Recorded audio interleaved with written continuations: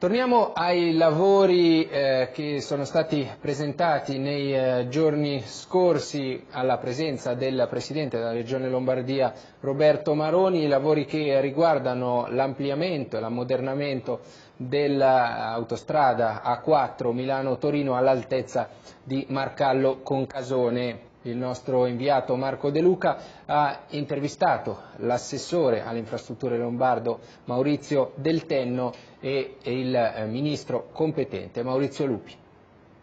Assessore Del Tenno, Regione Lombardia davvero non si ferma, oggi si inaugura un'opera davvero importante.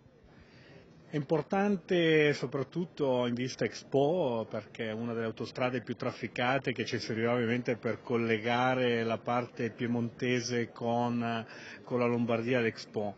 Eh, ma oggi si parla di altro, non è solo un ampliamento di un'infrastruttura importante per la viabilità, ma soprattutto per la sicurezza, eh, la quarta corsia, la corsia d'emergenza, le piazzole, insomma io eh, credo che sia quello che l'Italia merita in questo momento e che serva ovviamente a tutti i cittadini, ma anche chi ovviamente utilizza queste strade per lavorare.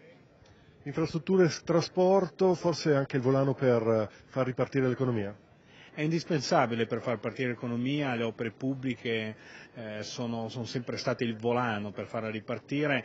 Io credo che questo ultimo decreto del fare che è stato ideato dal Ministro Lupi eh, vada proprio in questo senso e siamo molto fiduciosi insomma, che dia quella scossa alle nostre imprese, non solo grandi ma anche piccole e medie che possono finalmente eh, prendere questo, questa nuova energia in, in questo decreto. Ministro, lavori che arrivano anche in Lombardia, che tempi si prevedono?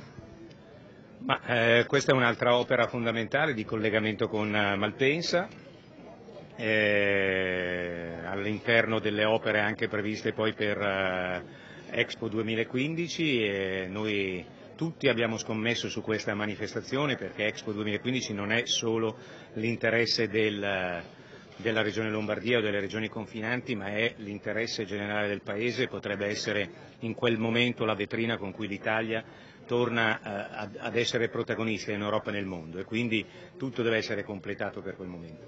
La preoccupano i ritardi proprio per Expo 2015?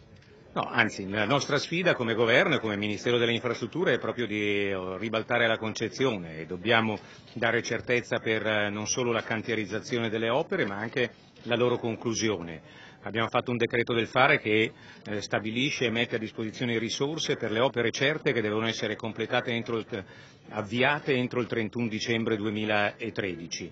Avremo a fine settimana un incontro con eh, il commissario Sala su Expo 2015 perché non ci si può permettere di arrivare in ritardo, anzi quella deve essere la grande occasione non solo di dotazione infrastrutturale della Lombardia eh, ma per tutta, ma per tutta Italia.